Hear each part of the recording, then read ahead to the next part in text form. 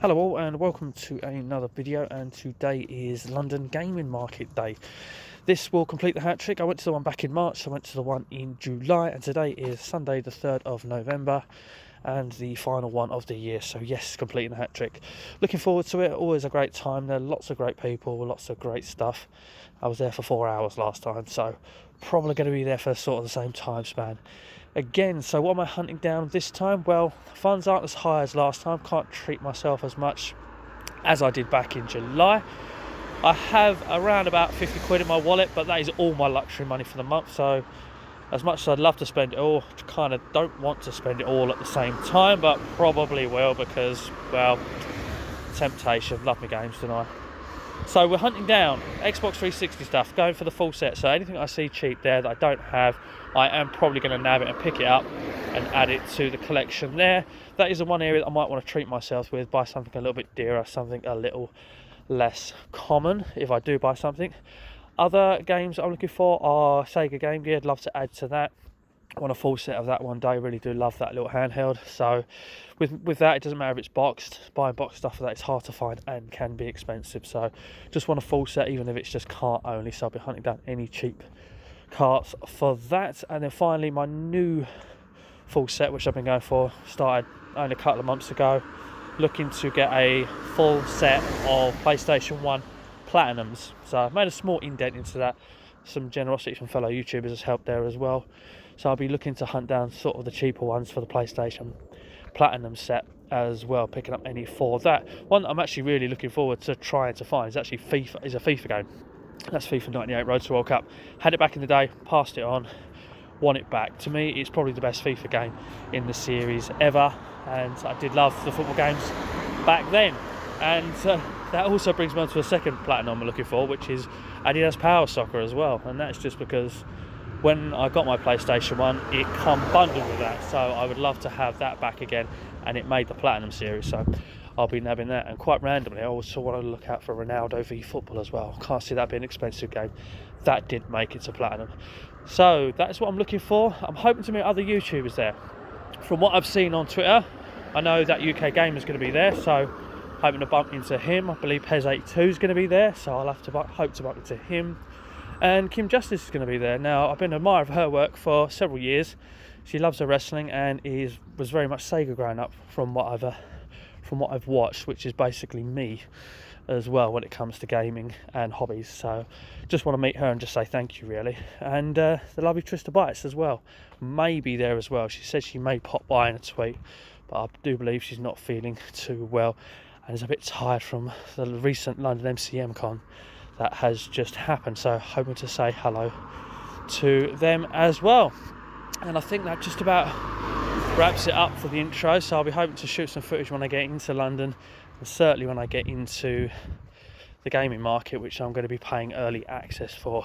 Because I did that last year, and it's quite nice to wander around when uh, it's not so uh, cattle market like. So we are nearly at the train station. I've got a 40 minute train journey to Liverpool Street in which I've got to change onto the London Underground a couple of times. I only get the Liverpool Street to Holborn, change once on the Piccadilly line and end up in Russell Square, which is the final target. So, stop waffling on for now and I will do some more videoing in a minute and perhaps talk to you later. So we're here now at the train station, ready to go to the London Game Market, and uh, there's no one here. It's Sunday morning, so there's no commuters. I know that, but there's no one here. I just thought that was quite cool, actually. Uh, train is about seven minutes away now, so won't be long before we're on our way to London. And the next footage you will see will probably be me getting off at Russell Square and having a mosey round whilst waiting for it to close in on 11 for the early access. So I will now talk to you again in London.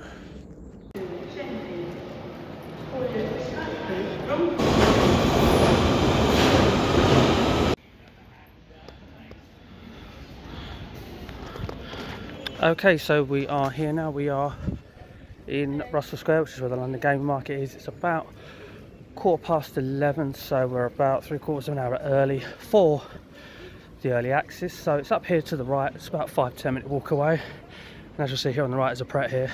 So I'm gonna grab a cup of coffee and some breakfast, hit that, then go to the London Game Market and wait for whatever time is left before they let us in early access. So the next footage you'll see will be inside the London Game Market.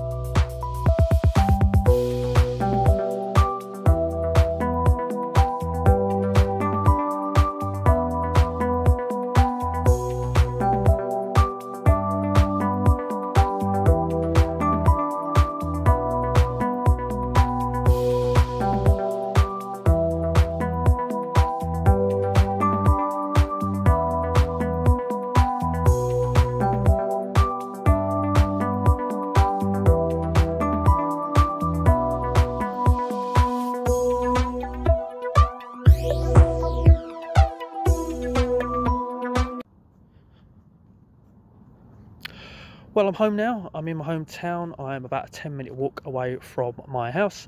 And what a day it's been an absolutely belter of a day. I'm home two hours later than I anticipated, but flipping hell, do I not care one bit. The level of enjoyment that I anticipated has been much higher than I imagined, and it's been an absolute belter of a day. And it's largely been down to who I've met. Now, I rattled off four names at the beginning that I knew that would be there. Sadly, I only met 50% of them. I was looking, and I appreciate it's only looking one way because I'm an off screen guy and you're not going to recognise a pair of arms or hear my voice and perhaps recognise it. So, apologies to Pez82 and that UK Gamer. I was looking, but our paths just did not cross.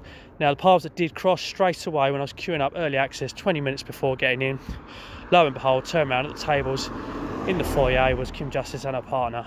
Now, the woman's been entertaining me for a couple of years for free, and my anxiety nearly got the better of me. But after about five minutes or so, I said, No, you've got to do this. I mean, it cost me about 10 15 places in the queue, but it was a small price to pay to thank someone for some exceptional work which they've done. And again, entertained me for a couple of, a couple of years for free. So I did that. Big thank you to Kim Justice. If you are watching, just thank you again for all the excellent work you put in on YouTube over a couple of years or so.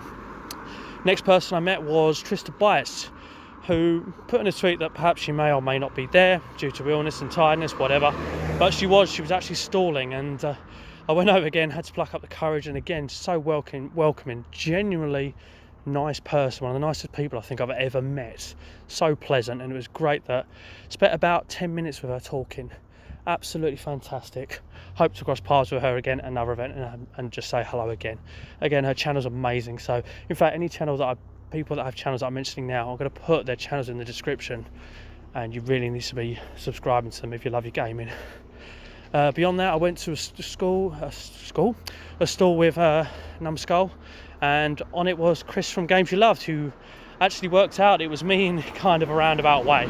Uh, spent about Christ, about 15 20 minutes talking to Chris.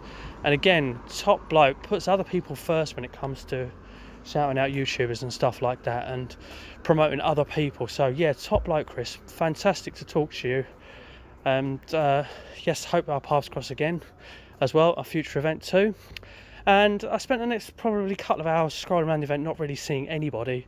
And I was on my last lap round. I had going back to a retro faith stall in mind to pick up a couple of games which I saw right at the beginning and lo and behold when I went to the numbskull stall again I passed it I saw two YouTubers that I've been watching for quite a while and it was Nick from Retro Break and Pete from On a Retro Tip. Now I had to go over and say hello to both of them again beat the anxiety. I got a little bit more confident after saying hello to Trista and Kim and said hello to the pair of them. Nick is again genuinely really pleasant nice bloke he was like, you know, asked me who I was, and I said I had a channel and subscribed to it there and then, which absolutely blew me away. I'm always flattered when a much bigger YouTuber drops a sub on my channel. And that brings me on to Pete from On Retro Tip as well, because much bigger YouTuber than me, but really pleasant, friendly, welcoming bloke. And because so it was at my last round trip, and he, after talking for about five minutes, he was like, "We're all going to go get a beer. Want to come along?" And I was like, "Are you sure? Are you okay?" And yeah, sure, I went. And I had to shoot off to Retro Faith Stall and get the couple of games that I wanted, which I did. And of course, it was great chatting to her. She came along for a beer as well. It was at a place next door to the event. And next thing I know, I'm there. For, I've, I've had three beers and a couple of hours have gone by. And we've just talked about what we love, our gaming, a bit of YouTube, a bit about me. Hope I didn't go in too deep with that. And just generally had an awesome, fantastic time. As I say, it was more than I expected so welcoming. I mean, you know, I never anticipated I'd get this out of doing YouTube, and I'm so glad I did. Basically, in the end, and it's just been an absolutely belting day. Met loads of people, and yeah, it's time to pick up the pace, go home, get into bed, and we'll probably do the pickups either tomorrow morning or the day after, and get this video uploaded as soon as possible because I have waffled on for quite a bit here. So I'm going to sign off here and just say thank you to all that I met today in everything you've done and how good you've been. And it's been a real personal victory for me as well as an anxiety sufferer. So thank you so much to all. And let's uh, let's sign off now and do the pickup section uh, very, very shortly for you. Speak to you soon. Hello again, and it's time for the pickup section for the London Game Market video. And again, seriously, what a day. But uh, we've got a pile of games here to show you, so let's crack on with those. And yes, I did hit a little bit of all my targets. I did get some 360 stuff, PlayStation 1 Platinums, one out in total and I've got a Game Gear game as well. But I also picked up a couple of PS2 games, and one of them is what you are looking at right now. Now, this one store had a box of games on the floor. There was only like 10 or so in it, and I spotted the Soul Calibur game in there. Now, if you've seen stuff on my channel before, you know I like my beat 'em ups, and I don't have this one. So when I saw it in there, I thought I'll pull it out, have a look, flipped it over, and saw the price was only a quid. So if I ain't got a Soul Calibur game, and it's only a quid. I'm going to pick it up all day long. Did look in it. I always check the discs in there. If they're not completely sealed up, the disc is fine. And we've got a manual in there and even a bit of extra paraphernalia behind it trying to sell us the complete official guide. So it is proper complete in box as well and only a quid. As I say, I love my beat 'em ups and Soul Calibur is definitely a franchise I like as well only game I bought from that store, and then this comes on to another PlayStation 2 game, which was the only game I bought from that store as well. And like I said, I like my beat 'em ups. And when I saw this nice copy of Virtual Fighter 4 sitting there for only three quid, it's got enough weight in it to suggest that the manual's in there as well. I just had to pick it up as well. So, yes, again, I say like my beat 'em ups, like the Virtual Fighter series. It's a shame that it's kind of uh, come to an end, or hopefully it's just sleeping and they'll bring up a another game in the future. Who knows? But uh, we haven't seen a Virtua Fighter game for a while. But uh, all the ones that they have released, I have liked. Even the original one, which has aged horrendously, I still do like that as well. But yes, nice to have Virtual Fighter 4 in the collection. As I say, with the PlayStation 2 stuff, I always buy stuff that I'm only going to play. I'm not really collecting for it, but uh, any beat 'em up that I see for it, I'm definitely going to pick up. And when you see Virtual Fighter 4 for three quid and you love beat 'em ups, you're going to pick it up all day long. So the last PlayStation 2 game that I bought, I bought two games from that store on two separate occasions because I kept going around quite a few times because you will miss things on stalls even if you have already been to the store I find. And this is what happened because the second time I went to that stall they had a sort of cabinet slash shelving unit around the side of it with a bunch of PlayStation 2 and 1 games on it and I saw this amongst it. Now, I like my beat 'em ups, yes, but I also like my compilations, especially compilations of classic games. I've seen someone else pick this up fairly recently, might be Sean of Retro Games Revived, and I saw it and I was like, if I ever see that, I've got to have that one day. And nicely sealed, again, it's weighty enough to, suggest that there is a manual in there. So, it's got all the games on it that are absolute belters. Um, it's got Mortal Kombat 2 and 3, which I do have on my Xbox 360 hard drive. But looking at some of those other games, I can now play Arch Rivals. I can now play Primal Rage again. Beat 'em up fan. Absolutely loving the fact that's on there. Love the fact that Hard Driving's on there. Narc's on there. APB as well. Believe that's a, a top-down racer where you play as a cop car and you've got to chase criminals and, and bash them until they sort of uh, explode and, and you then complete the level and you move on to doing it again in much in a much tougher situation. I think that's what that is.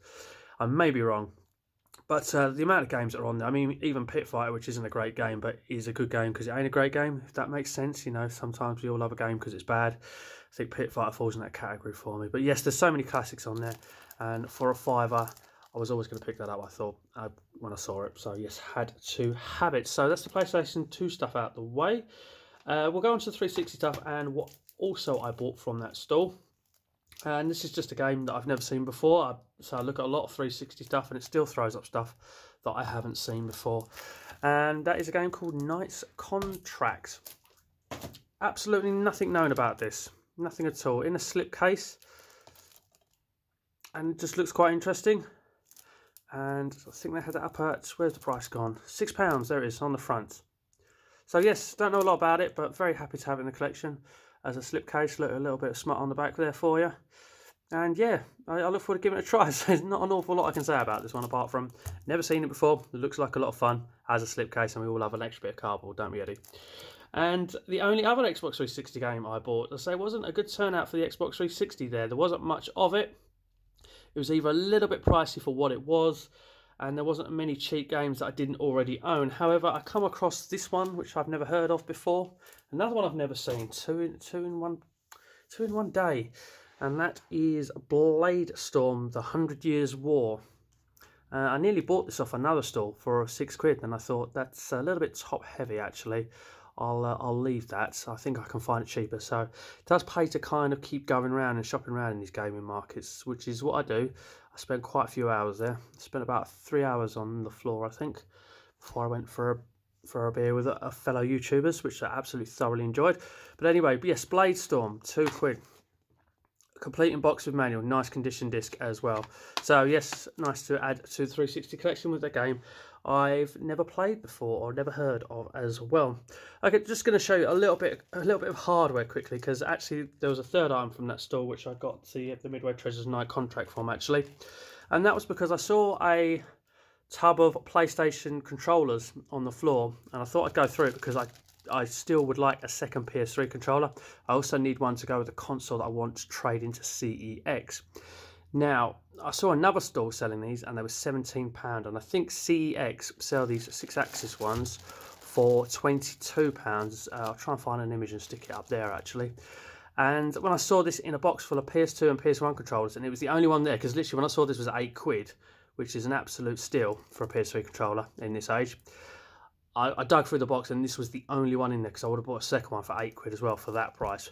But anyway, there was one in there. So the PlayStation 2 controllers were £7 and the PS1 controllers were £6. So underpriced, but absolutely loving the fact that you can actually find bargains at a gaming market as well. So very pleased to have that. I think before we do the PlayStation 1 games, um, the only Game Gear game that I was able to find, not a very rare one at all, but one I don't own, but one I used to borrow a lot back in the day, and that is G-Loc Air Battle for only three quid.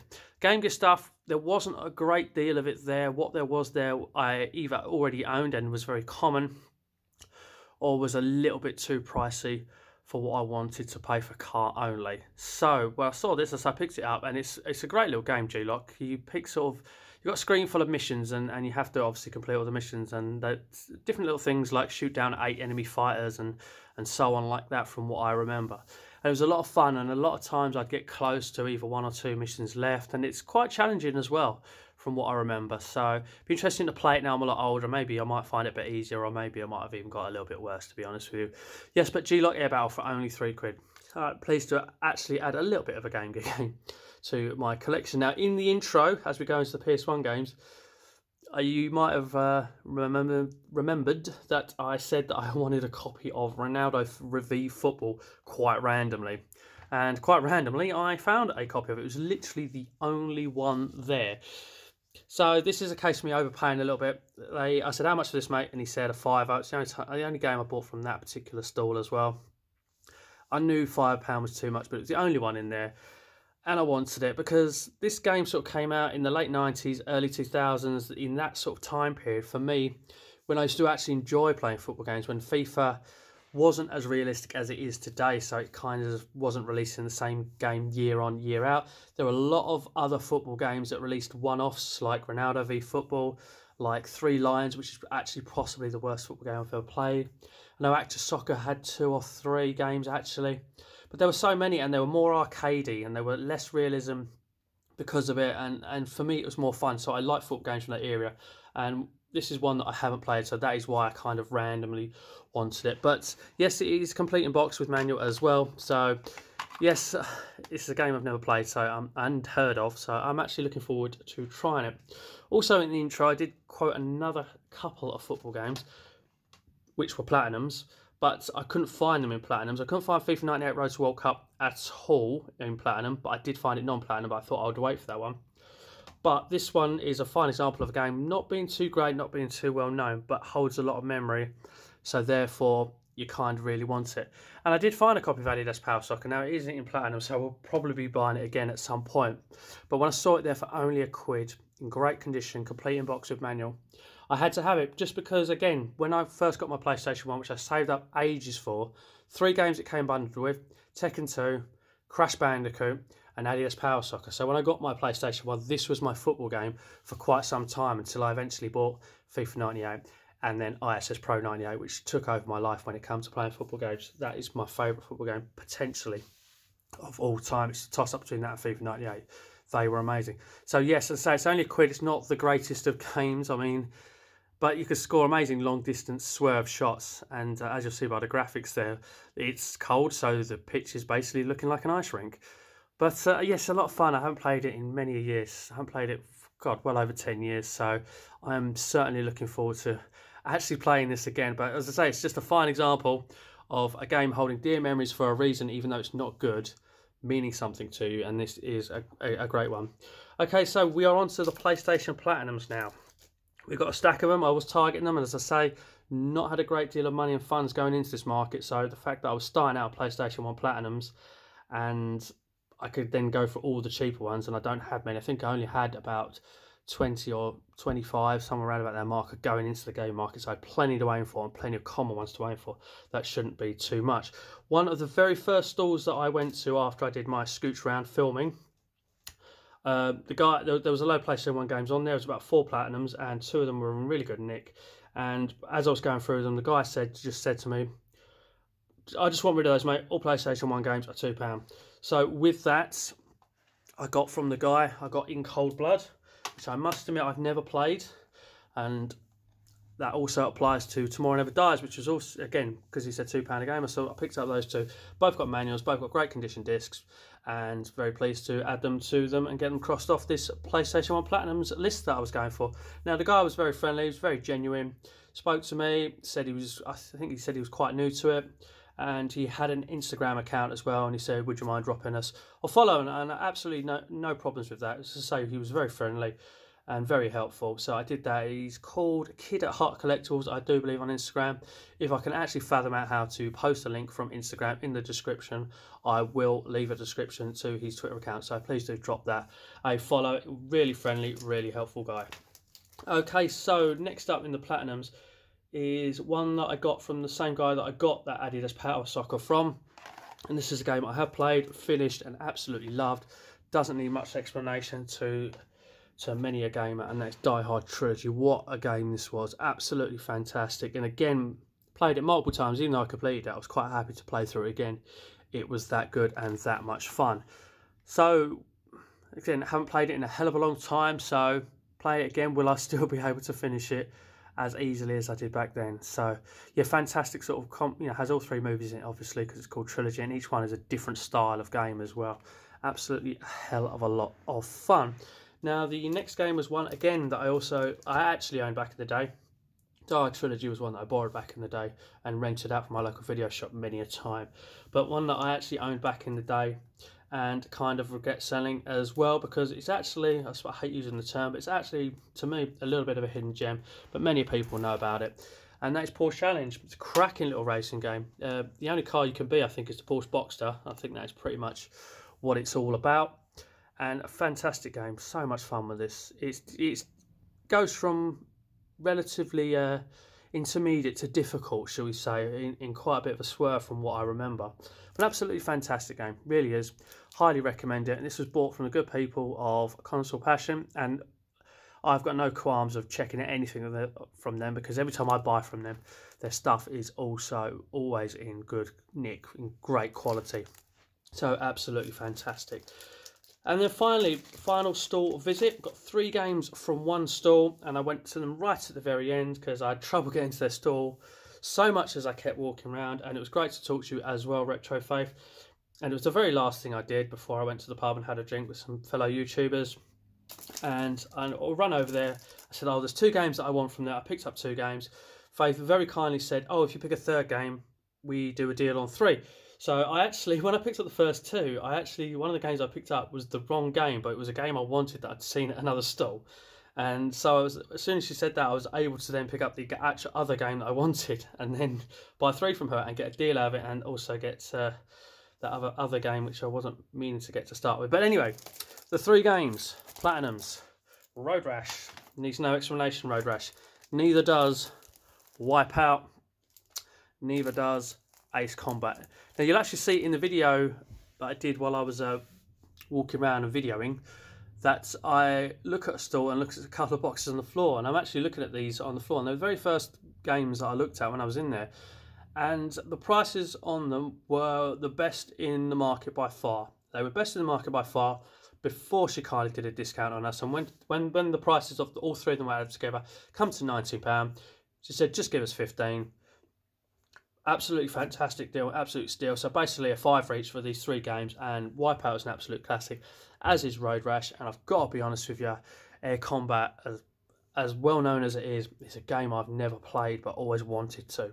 So this one I'm looking forward to giving a bash to, and these two I'm looking forward to playing as well. Wipeout again is another one I have played in many a year as well, probably well over ten years as well. Road Rash I have though. Road Rash again needs no explanation. So what can I say? I absolutely fantastic day. I'm very pleased with what I've got. I must admit, nothing really stands out as ultra rare, but what I have got, I'm very pleased with. I've got plenty to be cracking on with. So glad to have boosted my PlayStation 1 collection. But more importantly, it's it, in the at the end of the day, I went there hoping to meet some people. A lot more people turned up, or a lot more people there that I didn't realise were going to be there, and I ended up having just the best day ever purely basically because of who I met and I can't encourage people enough to go to these events and, and just to, to mingle with like-minded people and talk to people about the passions and the hobbies that we love and you'll have an absolutely fantastic day. And that, ladies and gentlemen this just leaves me to say thank you for watching. I mean if you've enjoyed what you're watching please consider dropping a sub. Feel free to comment below on anything you've seen in the video. And yeah please feel drop it a like as well. And just seriously absolutely cracking day. I can't get over it. And I just want to say Thank you very much to everyone who spoke to me there, or that I spoke to, because yes, I'm off camera. So thank you very much. Thank you ever so much to everyone that I spoke to for making me feel welcome. And ladies and gentlemen, that just leaves me to say thank you for watching. And as always, take care.